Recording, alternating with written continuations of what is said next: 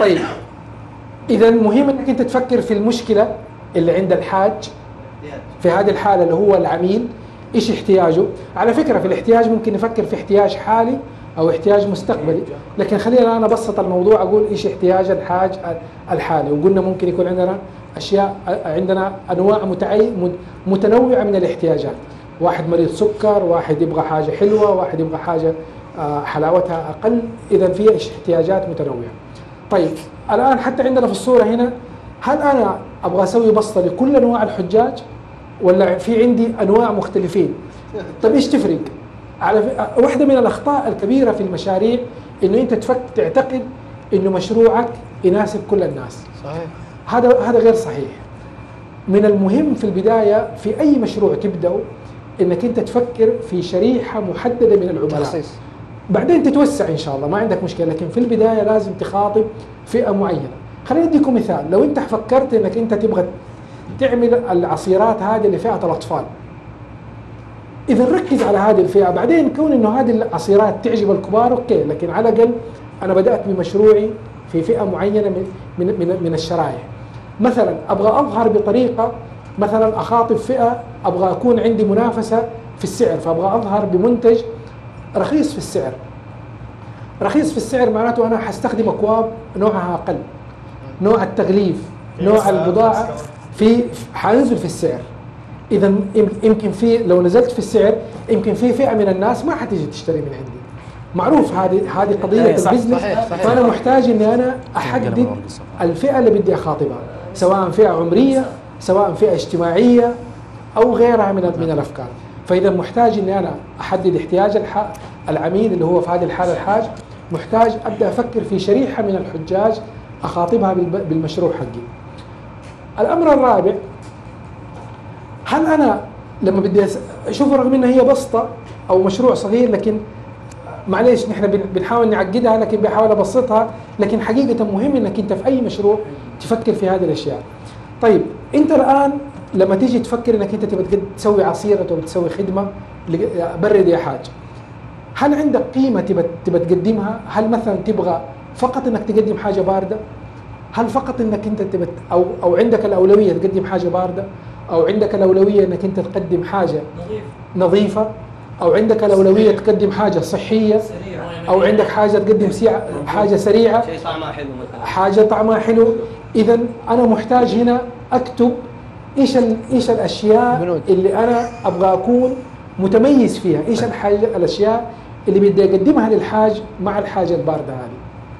طيب العنصر الرابع هل أنت لحالك حتكون في السوق ولا في منافسين لك؟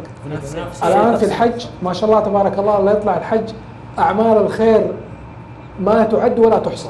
في حتلاقي لو رحت وقفت جنب ثلاجه من الثلاجات الكبار اللي بتوزع مجانا. هذول منافسين لك هو بيوزع مجانا أو بسط أو غيرها. محلات أو أو في المخ في اخذ منه وبيع. آه، ممكن تأخذ منه وتبيع. هذه فكرة مره ممتازه يعني هذه غسيل أموال. غسيل أموال يا والله آه. غسيل وجبات. فبالتالي محتاج تفكر في كل المنافسين اللي بالنسبة لك. طيب الآن أنا قلت أربع أشياء. المشكلة من هم العملاء إيش هو الحل؟ إيش إيش هي القيمة المضافة اللي حتقدمها ومن هم المنافسين. الآن أنتم كمجموعات ابغاكم تبدأوا تفكروا أيوة. في برد يا حاج فكروا في الأربع العناصر اللي تكلمت عنها. الآن إحنا مشروعنا برد يا حاج إيش هي الاحتياجات اللي تبي تخدموها كمجموعة في مشروعكم؟ الآن ممكن نحن نطلع بأربع مشاريع مختلفة رغم إنها كلها تحت مظلة برد يا حاج لكن بكرة إن شاء الله حنسمع الأفكار بالتفصيل من كل مجموعة. لكن الآن نبدأ في كل مجموعة. في مجموعة ما شاء الله بدأت. لكن خلينا نبدأ. نعطي فرصة للناس اللي ما بدأوا. ما فهمت دكتور طيب الآن تجاوبوا على الاربع الأسئلة الرئيسية. ممكن تجلسوا على خذوا راحتكم. طيب. تبدأوا الآن. دكتور بس نركز على الموية ولا البيض عادي؟ لا أنت الآن ممكن تشتغل على أي يعني حاجة. ممكن أجيب موية وبيض يعني سندوتش قصدي. آه الأكل أنا ما حطيته. مأكولات. إذا تبي تحط مأكولات ما عندك مشكلة. يعني يصير من نوع من الترغيب. لكن ممكن ممكن ممكن ما تكون فقط موية. أيوة، ممكن أنا يكون عندك عصيرات. ما عندك مشكلة. طيب ممكن تقول أبغى بسكوتات مثلا. طيب. دكتور معليش. ممكن. معليش يا دكتور يعني ممكن نسوي تغيير. يعني مويه مقري عليها يعني. لا. نجدد. هنا نكتب المادة اللي ولا هنا المادة اللي عليها. هذه الصفرة ما تبغى نحطها ال- الصفر حتنحط يعني هذا المربع الآن بتجاوبوا فيه إيش هي الاحتياجات اللي تبي تحققوها طيب. بيع مغلات لا لا لحظة نحن خلينا نمشي بالتدريج. نحن خلينا نمشي بالتدريج. أظن أنتم هنا أنتم قلتوا الفراغ عند الحاج. إي صح. آه آم، إيش تقصد بالفراغ؟ ما أدري لكن الضمى يمكن بالتاكيد ضمى لكن هو هو هذه خانة التعبير. مثلا يعني للتسلية مثلا زي ما قلت. عصير طيب مثلا شيء. طيب في هذه الحالة طيب التسلية.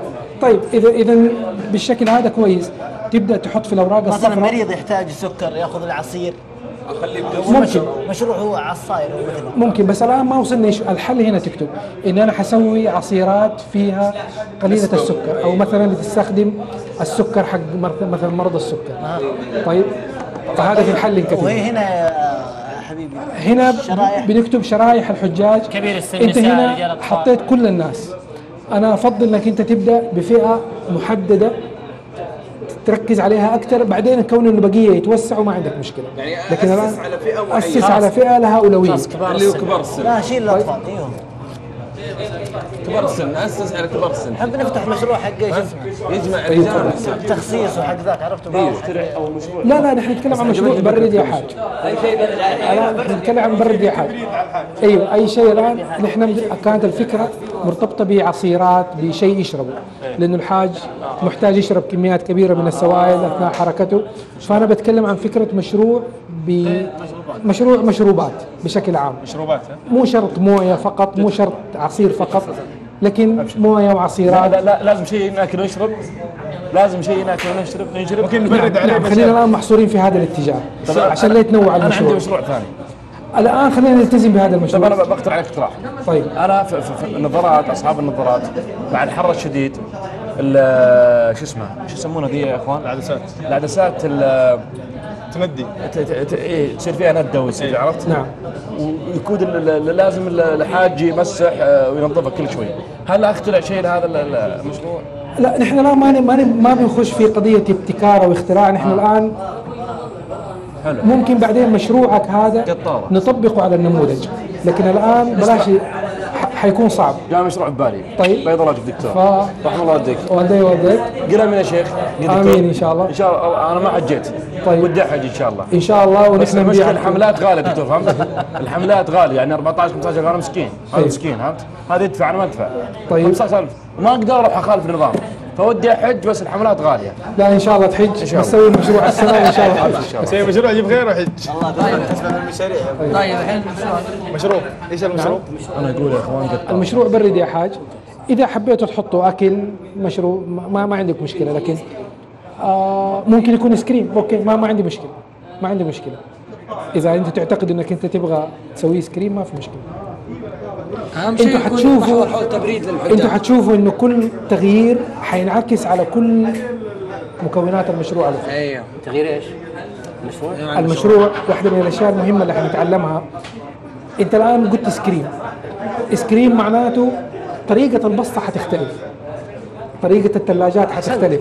لازم طريقة تجهز حفظ. المادة حتختلف. كل المشروع حيختلف. يعني لو أنتوا اخترتوا سكريم أنا ما بقول صح ولا غلط. لكن لو أنتوا اخترتوا سكريم والمجموعة الأخرى اختارت عصيرات حتلاقي مشروعين مختلفة. خطوات المشروع تختلف. خطواتها تختلف طريقة التصنيع تختلف. كل شيء حيختلف وما عندنا أي مشكلة. وإحنا هذا اللي نفكر فيه كنا دكتور يعني موضوع إنه مثلا نبغى. الحاج هذا بند لكن الواحد يعني ممكن كيف يبرد على قولهم من طريقه؟ يعني لازم يكون آه، في انسجام بين الشخص والمشروع اللي بيعمله. ممتاز. إذا أنتم متحمسين لفكرة سكريم مثلاً خلاص أيوة. خلوها سكريم إذا مشروعكم حيكون عبارة عن طيب كشك سكريم المشكلة الآن؟ يعني ممكن. حكم مثلا زي سكرين مشكلة. طيب اذا المشكلة إيش هي؟ سرعة الذوبان لا الآن المشكلة اللي بتلحق للحاج. للحاج.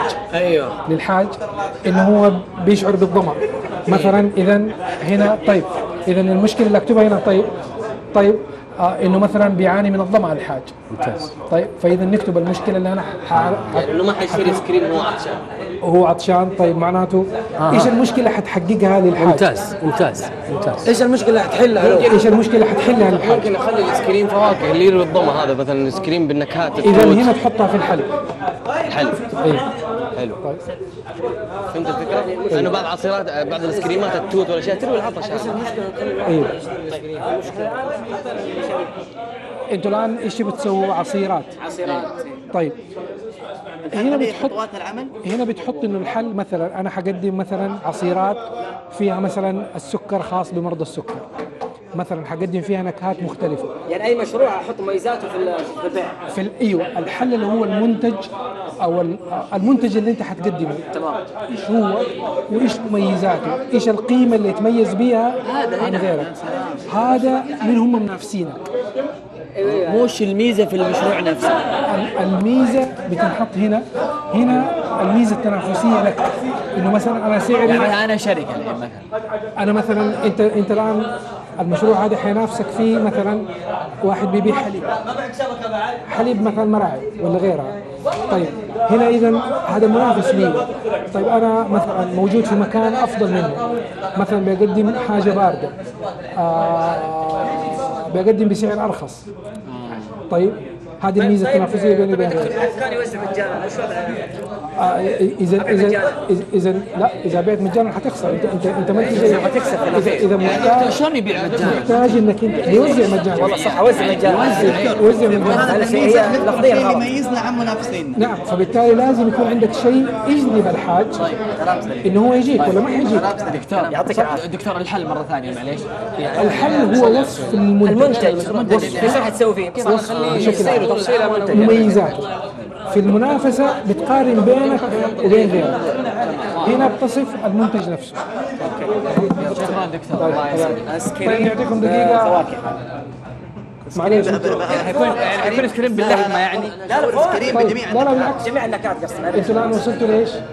والله أنت خطير. كل سنة في سكرين أنا. م- مظلة إيش؟ والله. عشان تبريد. نبغى نسوي خيار ثاني يجي يتكي عندنا لأن عندنا عصيرات اذا إذا من ضمن المعطيات اللي حتحطها هنا في الحل أيوه. حتقول إنه أنا مثلا بدي أوفر مظلة. طيب هنا حتيجي أنا ما يعني أنا ما أبغى استبق الأحداث لكن نحن حطينا هنا من العوائق والتحديات. أيوه. طيب الآن لما أنت تقول أبغى أسوي مظلة حلو. هل البلدية حتسمح لك؟ هل أنت معناته المساحة اللي حتحتاجها اكبر أكبر؟ إنه أنت بتتكلم في باصات. إذا أنت لو بتتكلم في مكان على الشارع إذا لازم يكون عندك ارتداد مثلا 3 متر ولا 5 متر فبالتالي شوف كيف بتأثر على بعض الأمور. فين المظله فين فممكن- الموضوع؟ مو عوائق على الأقل حط احتمالات. بلدية عيت. اذا لا أنا ما لا, لا, تشيلها لا, لا تشيلها. لكن لكن لكن, بقول لك كيف كيف الأفكار محتاج إني أنا أحسب كل شيء ولا بعد. نظر. لا إحنا خلينا على الموية يا شباب حاليا. أيوه.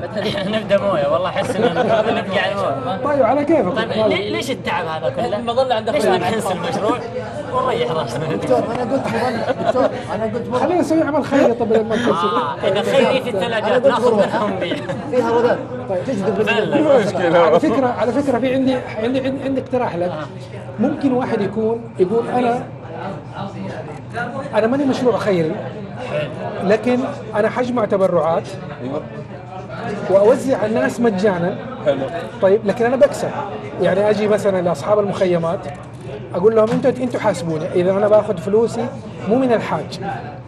أنا باخذ فلوسي من جهه من, من أيوة. طرف آخر. الآن كثير ترى من من من الناس اللي بيوزعوا هو, هو اللي بيوزع ما بيشتغل عمل خيري. هو ليه أجر؟ بس هو بياخذ فلوس. صح. وبيكون كسبان. آمين عليك. بس هو ما بياخذ من الحاج. بيعطي الحاج مجانا. ياخذ من المصدر. آه، ياخذ من الأساس. ياخذ من الأساس ياخذ من من من المورد متبرعين نفسه. ياخذ من من جهات. فممكن تفكر بهذه الطريقة. حلو. والله هذه أفضل عشان ما نخسر إحنا نكسب. بس مين مين يثق فيك يديك؟ هذه مشكلة. مشكلة والله. هذه عوائق. هذه أكبر عائق. البلدية عيت على المظله معليش. والله. أيوه طيب مين جمعكم؟